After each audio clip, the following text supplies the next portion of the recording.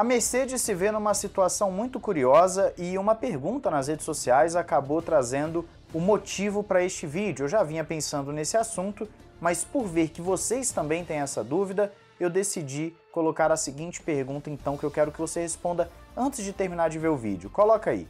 Se a Mercedes contratar Max Verstappen, George Russell sai para a entrada do Kimi Antonelli num futuro próximo, seja próxima temporada ou 2026? Ou você acha que a Mercedes tem uma outra saída? Fala aí e agora nós vamos entrar nesse assunto.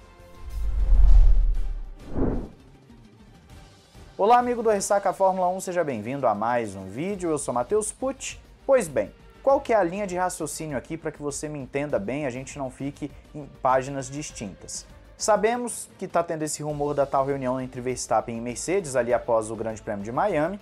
Ainda não há confirmação da tal reunião, mas vamos colocar aqui o seguinte cenário: há um interesse já declarado da Mercedes no Verstappen, isso não é rumor, é confirmado, e em algum momento vai rolar essa proposta, isso é fato. Se acontecer em Miami um pouco depois, pouco importa. O detalhe é: se o Verstappen aceita essa proposta da Mercedes, ele vai para o lugar do Hamilton, você está substituindo um heptacampeão pelo tetracampeão, Verstappen vai ganhar esse título, né?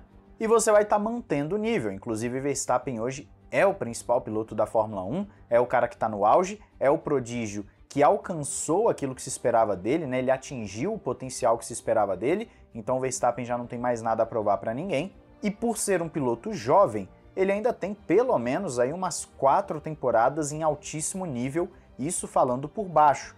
Eu não sei como vai estar tá a motivação, o físico tal, mas quem sabe até mesmo aí mais uns oito anos em alto nível. Pelo menos quatro ele tem ainda em alto nível com certeza. Sabendo disso, a Mercedes vai ter um probleminha caso Verstappen realmente assine pela equipe, que é o seguinte: hoje eles contam com os serviços de George Russell, que há alguns anos, quando estava ali na Williams, era a grande promessa da Mercedes, da academia da Mercedes para a Fórmula 1. O Ocon já foi descartado há um bom tempo, ele mantém o seu contato com a Mercedes, mas é claro, nítido, notório que o Toto Wolff não conta com o Esteban Ocon e o George Russell é a aposta, tanto é que quando ele sobe em 22, a Mercedes começa a fazer muitos testes com o carro do Hamilton, mas deixa o Russell estável, o Russell vai conquistando bons resultados. No segundo semestre, você tem uma vitória do Russell no Brasil, então a expectativa ficou grande. Só que em 2023 e agora em 24, nós estamos vendo um Russell oscilando bastante. E o que, que acontece?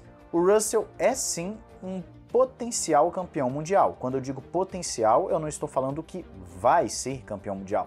Estou falando que é um piloto que tem habilidade e potencial para tal. A gente espera que ele amadureça a sua pilotagem, a sua constância e chegue a brigar por títulos.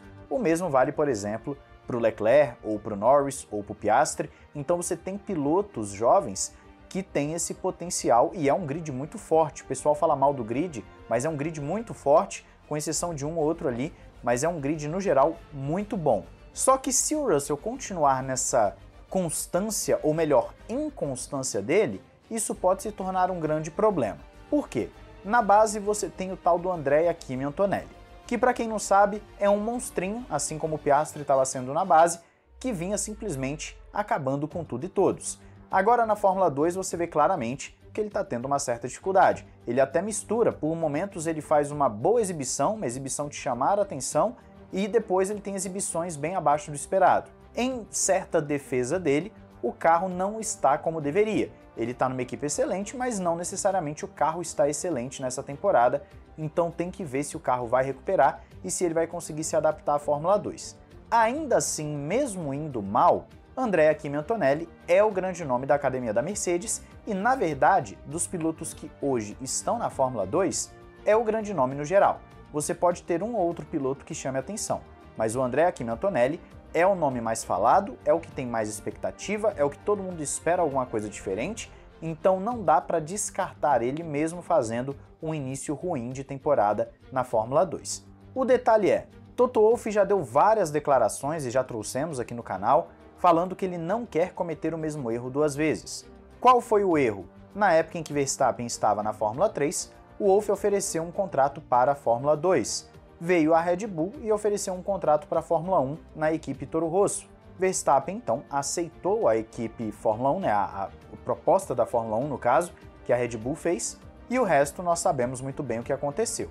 Toto Wolff se sente um tanto quanto culpado pela perda de Max Verstappen, mas eu não sei se tinha muito o que fazer, uma vez que ele tinha Hamilton e Rosberg na equipe principal, e aí o máximo que ele poderia oferecer era um contrato em equipes parceiras da Mercedes se essas equipes tivessem alguma vaga em aberto. Então é um pouco complicado, é um pouco difícil você ver esse tipo de situação do Wolff. Eu não acho que necessariamente ele teve uma culpa, eu não acho que necessariamente ele perdeu o Verstappen, porque não tinha muito o que fazer. São negócios, negócios funcionam dessa forma, e eu acredito que você que está me ouvindo agora, se recebesse uma proposta para ir para a Fórmula 1, iria sem pensar duas vezes. Só que com o Kimi Antonelli, Toto Wolff não quer cometer esse erro, até porque ele sabe que se a Mercedes não entregar ao Antonelli um carro de Fórmula 1 em breve, provavelmente outras equipes vão começar ali um assédio. E aí você pode perder um piloto muito bom, como foi o caso do Piastri com a Alpine, que fez toda a base do cara, a Alpine deu todo o suporte para ele, treinou ele na Fórmula 1 e tudo mais,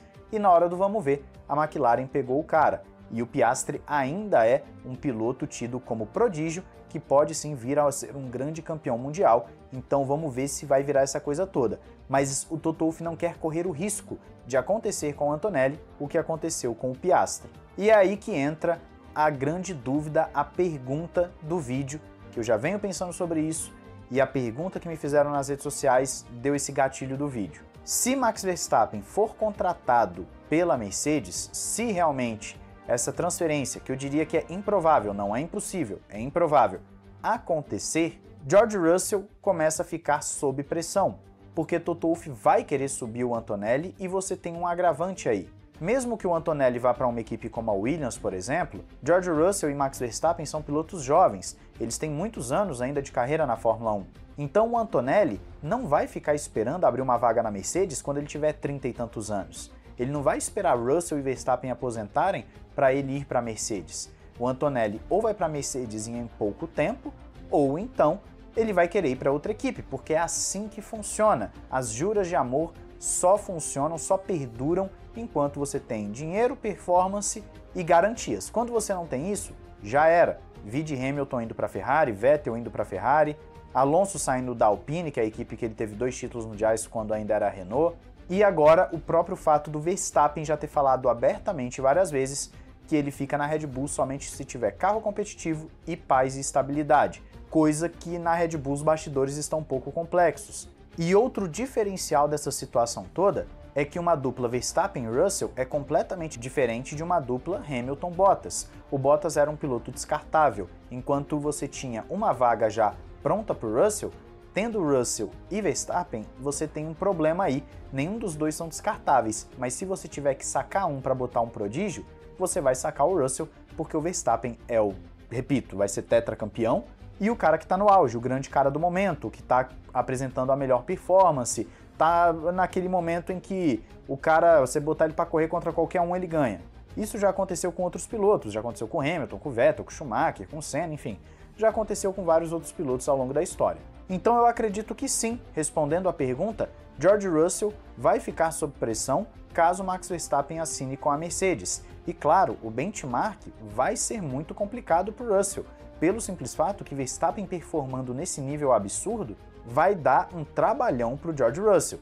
Talvez o Hamilton esteja mais naquele modo, ah, vou só fazer o feijão com arroz aqui pronto. Não sei, não sei até que ponto o Hamilton está forçando tudo que pode com esse W15.